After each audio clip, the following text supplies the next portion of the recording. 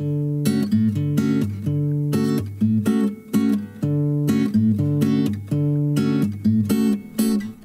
this is Ginger from My Sister Scrapper. Today I want to share another folio with you. This folio was created using the beautiful Prima Amber Moon collection by Frank Garcia. Um, and this is uh, just like the recipe folio, only I wanted to use the uh, Prima Amber Moon collection. I did use the 12 by 12 paper pad, as well as some of the individual 12 by 12 sheets that have the foil accent on them, uh, because you know the paper pads do not have the foil accents.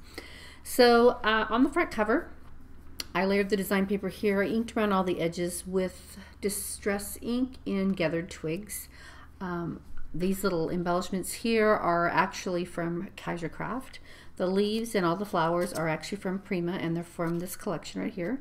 I spelled out the words be thankful and these are, these are actual uh, Scrabble tiles from a Scrabble board game, an old one that I found at the thrift store.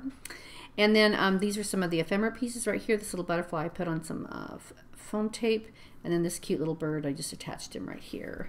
And this is another piece of the ephemera right here. And again, I inked around it with gathered twigs. So here's the first spine. And again, this is one of the 12 by 12s that had the foil on it. I just cut a border strip and put it right here. Here is the back that also has the foil accents on it. So pretty, love the little bird.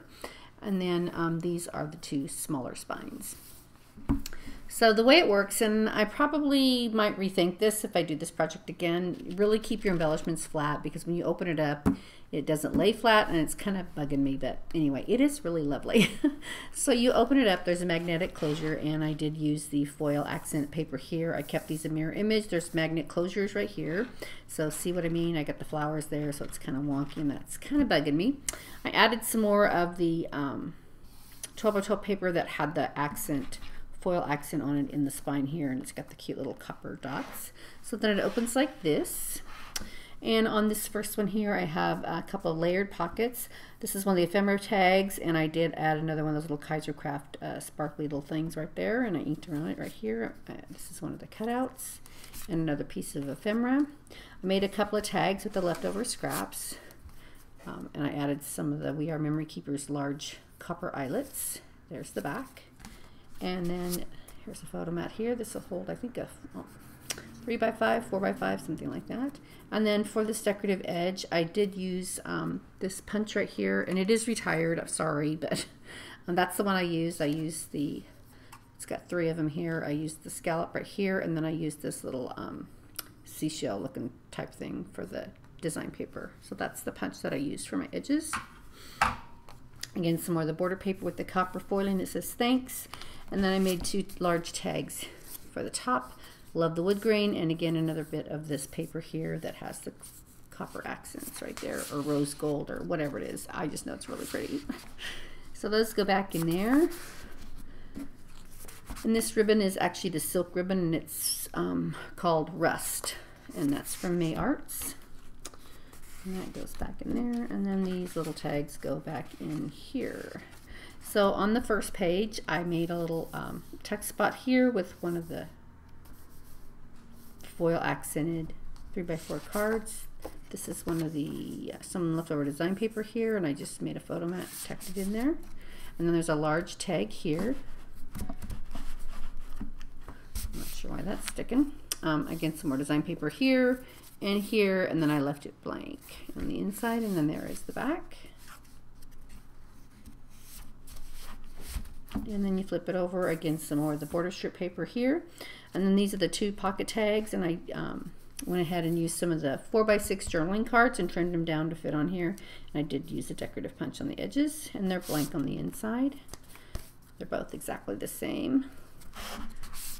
Here, and then right there. So these are actually four by six, so you could trim your photos down to three and three quarters by five and three quarters, and they would fit on there. And then again, I just used some of the small little cutouts, and these are actually, these two are from the, some scraps from the six by six paper pad that I had left over, and then this is from the ephemera pack, same with this one right here, little seed packet, super cute. Flipped it over, again, some more little elements from the leftovers of the six by six. Here's the other page here. Again, another photo mat. Think what the problem was. I think I made that mat bigger than I did this mat. Oh, well, just talking to myself. Okay, I added a couple of photo mats right here. This is actually from the um, pack. It's a little, uh, what do you call it? Acetate little tag. It's super cute. It says Fall in Love. Then I added an extra pocket back here with another border strip. And then I used a bunch of the leftover um, foil accented 3x4 cutouts and made little photo mats there and there and there and then I made two little booklets with these. And they're plain on the inside. They'll hold three by four cards. This little cute home sweet home is from the ephemera pack as well. And then same with this one. So those just go back in here. This is such a fun project and it does look amazing in different kinds of papers so. Then over here is where the photo sleeves are and I went ahead and just added um, some of the 4x6 cards and some of the 3x4 cards so I can just slip my photos in. I love the seed packets. Super cute. The wood grain on the background. And then I just added a piece of the design paper right here. And then here is the accordion pocket with a magnetic closure. I added a border strip right here along the bottom of the wood grain paper. And then that's the inside. So there's lots of room to put stuff in there as well. And that's got a magnetic closure. So there you go, everybody. That is my folio using the beautiful Prima Amber Moon collection by Frank Garcia. There you have it. Thanks for watching. Bye.